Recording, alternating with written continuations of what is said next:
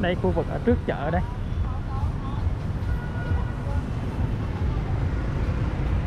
Một số cái à, ngôi nhà ở trước chợ.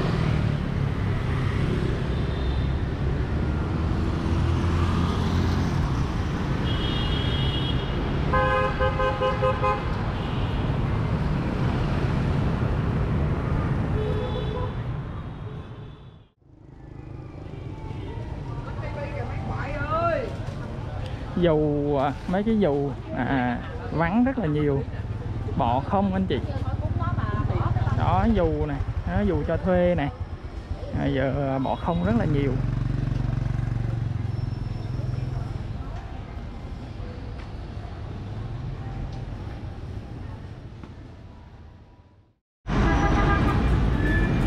Dạ em xin gửi lời chào đến cô chú anh chị và các bạn. Đầu tiên thì ờ, gửi đến cho cô chú anh chị ờ, những cái lời chúc sức khỏe trong cái ngày mới. À, Thật là nhiều niềm vui nha anh chị. Ở phía trước anh chị em đang đứng đây là khu vực ngã tư giao giữa đường An Dương Vương và đường Nguyễn Tri Phương ngày nay. À, Hôm nay thì em mời cô chú anh chị chúng ta cùng lang thang với em qua khu vực thăm lại chợ An Đông ha. Trong những cái ngày thật sự là khó khăn của Sài Gòn mình cũng như là toàn à, thế giới em cũng muốn mời cô chú anh chị chúng ta ghé về chợ An Đông để xem cái tình hình ờ, của các cái tiểu thương khu vực chợ An Đông ngày hôm nay. Họ kinh doanh mua bán như thế nào cũng như là chúng ta ôn lại một chút xíu những cái con đường những cái dãy phố ở gần cái khu vực này anh chị ha. Thì trước khi mà đi á em cũng xin chia sẻ cái vị trí à, mà em đang đứng để cho anh chị hình dung. Phía trước là đường à, Nguyễn Tri Phương chúng ta đi xuống khu vực ngã sáu Nguyễn Tri Phương và đi ra à, đại lộ Trần Quốc Toạn. 3 tháng 2 ngày nay đó anh chị.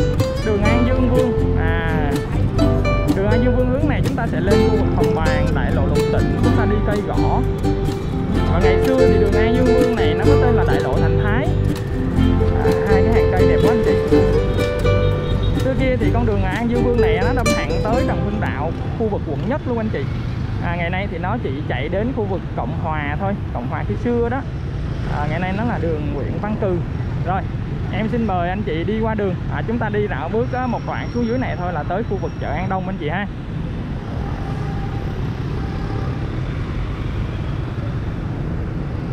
À, mé bên à, tay phải của em đây là bệnh viện Nguyễn Duy Phương. Hướng này chúng ta đi lên cầu Nguyễn Duy Phương về khu vực quận 8 đây anh chị. Chánh Hưng cầu Chánh Hưng Phạm Hùng ngày nay đó.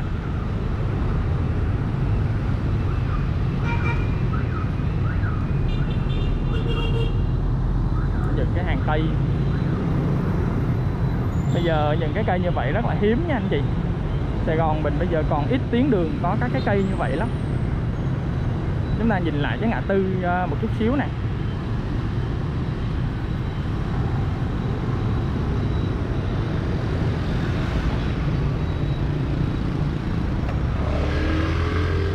ở ngay ngã tư này thì có một cái tiệm bán trái cây. À, Tết thì có bán quà Tết. À, rất là là nổi tiếng luôn. Rất là nhiều khách mua ở đây. Đây là hội à, Anh Văn Việt Mỹ. Mấy ngày nay thì những cái ngôi trường á, thì đóng cửa hết. Không có cho học sinh đi học được nữa. Tại vì à, đang trong cái thời kỳ này thì không đi học được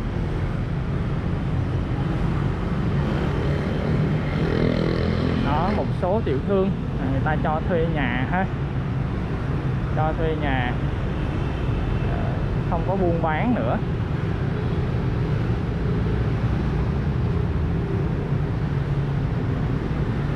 Đó đây là cái dãy nhà gần chợ An Đông nên chị à, dãy nhà phố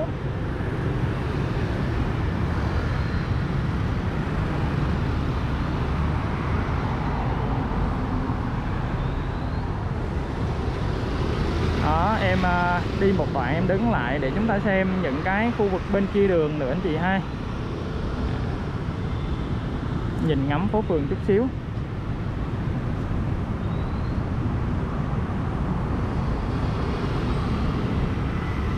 Đây à, tiệm bán xe máy.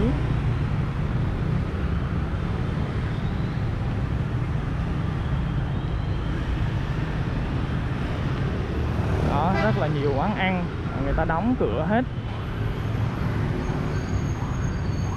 À, cái tiền mặt bằng nó rất là cao quá anh chị. Thành ra là không có à, trụ nổi những cái ngày mà vắng vẻ như vậy đó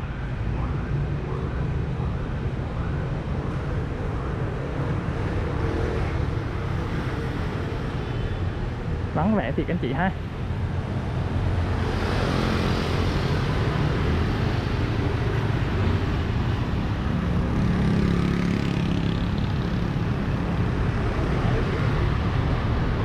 Bệnh viện phụ sản An Đông nên anh chị.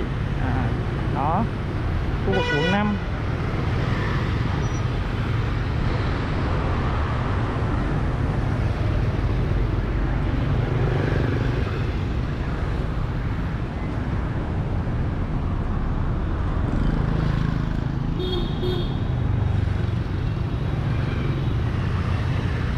ở đây thì người ta có cái làn đội xe đây anh chị. Đó dọc dưới cái làn đường là có cái nơi đội xe cũng tiện quá anh chị ha. Mình được đậu đội xe đúng nơi quy định à, an toàn. Mà lại nó nó văn minh nữa.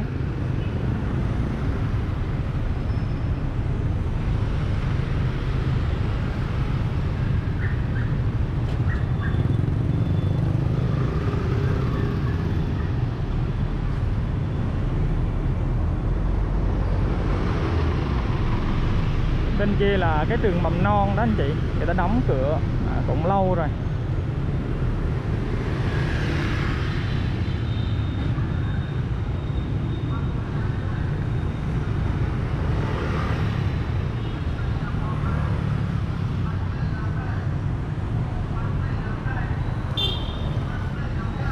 Đó đây là giao nhau cái ngã tư đường à, uh, Nguyễn Duy Dương và đường uh, An Dương Vương. Đây trước camera là anh chị thấy có một cái hội thánh cơ đốc. À, rất là cụ lâu đời ở khu vực này nè.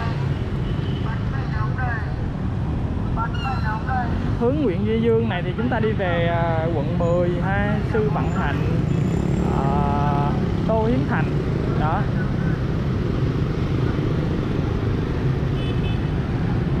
Mời anh chị qua đường nha.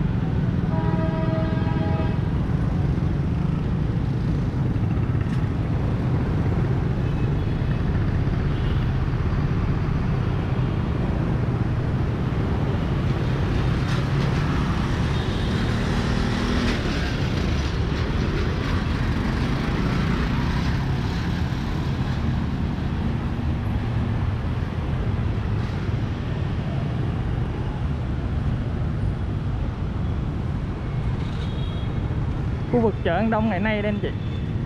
Người ta ngày hôm nay đây. Hôm nay chính xác là khoảng ngày uh, 10 9 ngày 10 gì đây nè em quên mất tiêu rồi. Ở khu vực chợ An Đông ngày nay thì người ta đang uh, xây dựng lại người ta đang tu bộ lại ở cái mặt tiền một chút xíu.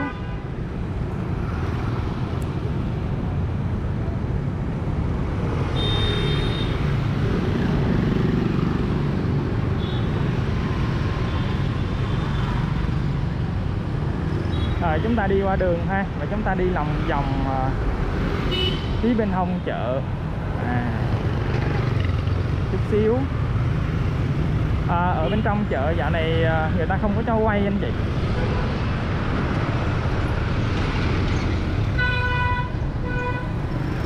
Bảo vệ à, em có xem một số cái video trên mạng thì bảo vệ người ta không có cho quay video ở trong chợ. Thành ra chắc là em cũng đi lòng vòng phía ngoài thôi. Ờ, ké được khúc nào ké anh chị?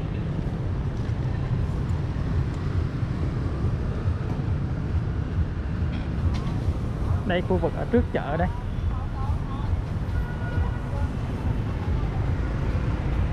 Một số cái à, ngôi nhà ở trước chợ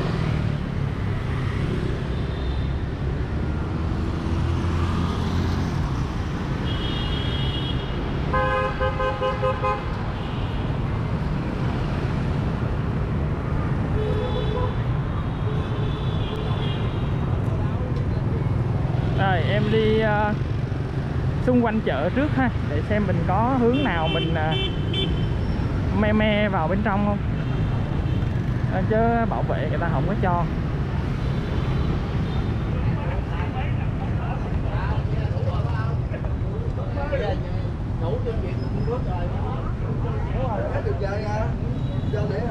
Đó tình hình. Bà con mua bán. Các cái sạp có một số sạp đã đóng cửa rồi giờ đang à, làm mới cái à, mặt tiền lại ha.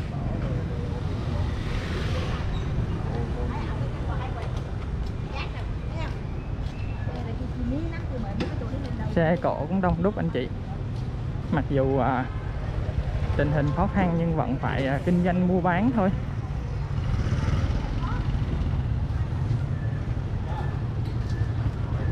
Đây, hàng hóa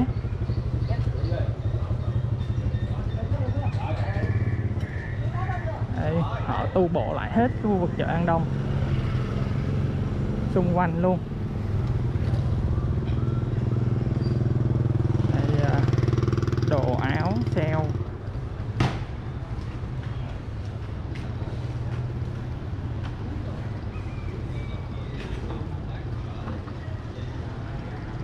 cộng nào cũng có bảo vệ canh hết anh chị.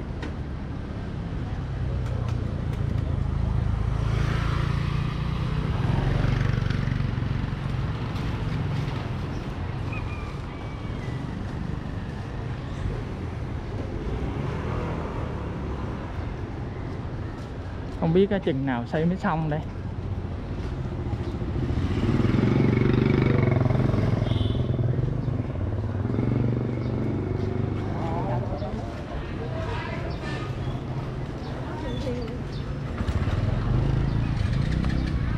Buồn thiêu anh chị ha. Không có nhộn nhịp đông đúc như mấy hôm đâu. Thôi, chè bánh tiêu.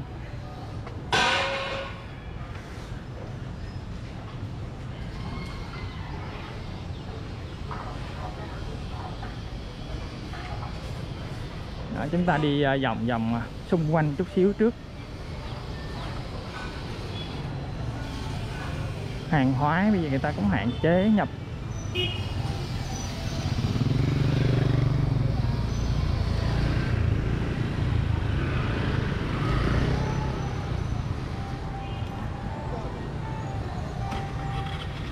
Đó khu vực uh, chung cư xung quanh chợ An Đông này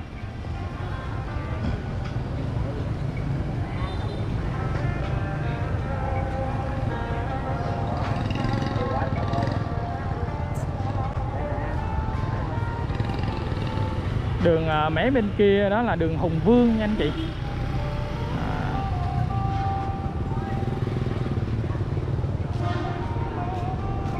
Đây đang à, tụ tu sửa lại hết cái mặt tiền. Bên trong thì chắc nó vẫn như vậy thôi.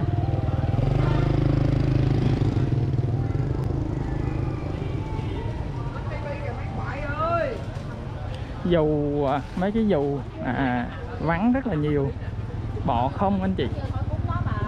Đó dù này đó, dù cho thuê này à, giờ bọ không rất là nhiều.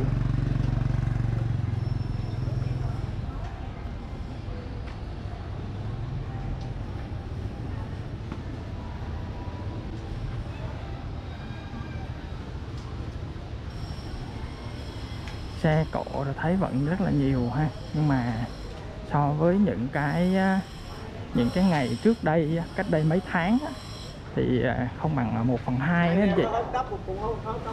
Ừ. ngày xưa à, dựng sát nhau không có lối đi luôn á.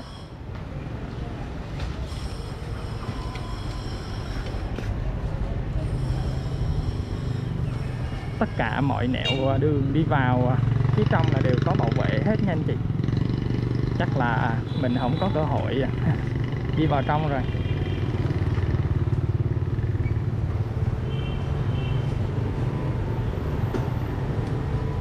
Biết của anh chị hai.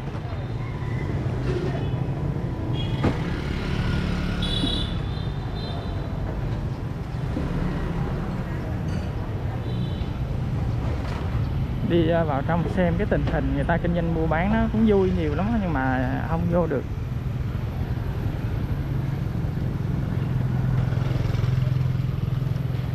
Mà thôi thì à, những những cái ngày này nó cũng đang còn à, ế ẩm lắm đi quay rồi nhiều khi mình cũng thấy ngại với lại cũng thấy tội một số cái tiểu thương. Ai, tình hình chung mà.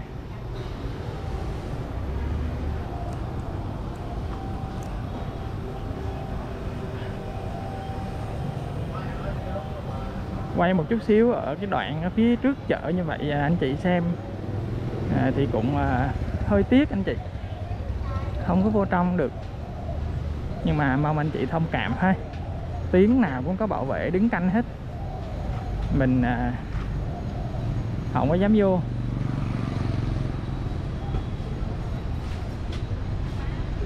Em à, đi ra phía ngoài đường à, An Dương Vương lại nha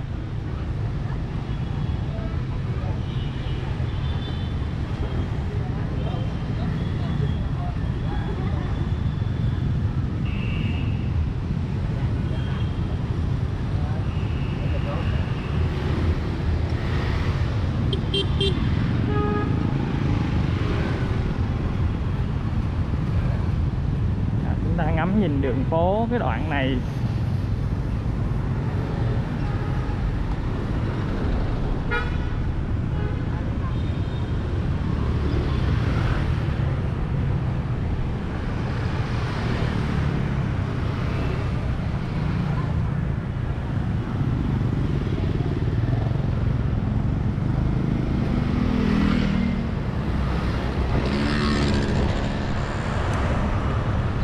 rồi em à, đi qua đường. Chúng ta đi à, cái hướng này à, xuống ngay cái vòng xoay Trần Phú Nguyễn Hoàng đồ đó anh chị.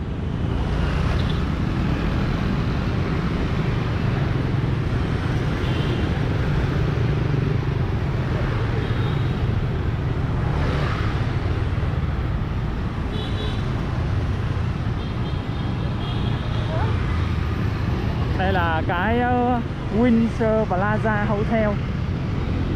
An Đông Plaza đây anh chị. Đường Yết Kiêu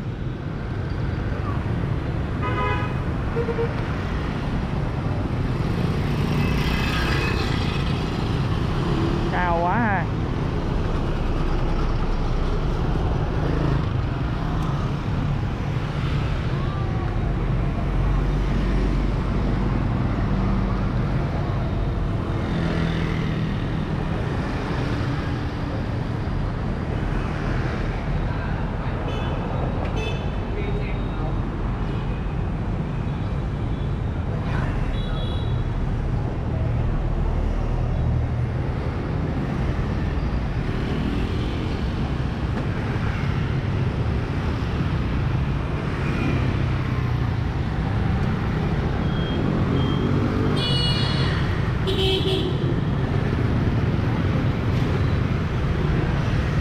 đây à, phía trước sảnh An Đông Plaza đây anh chị.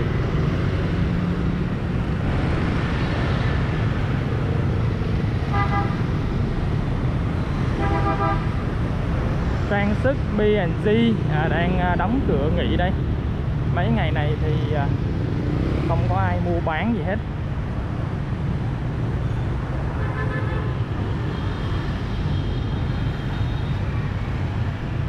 À, đúng ra hôm nay thì em ghé vào chợ An Đông à, quay chia sẻ cho anh chị xem nhưng mà nó cũng hơi tiếc một cái là à, đang tu sửa và bảo vệ ở đó người ta không có cho vô. Cho nên là em à, cũng đi xung quanh một chút xíu cập nhật cái hình ảnh khu vực chợ An Đông và một số cái tuyến đường à, ở khu vực à, chợ An Đông này gửi đến cho cô chú anh chị ha.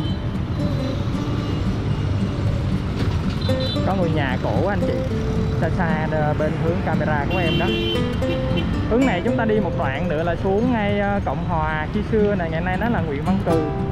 Còn cái đường ờ, Nguyễn Hoàng này thì chúng ta sẽ đi ờ, thẳng xuống à, khu vực đường Cộng Hòa luôn anh chị ngã sáu Cộng Hòa luôn ha.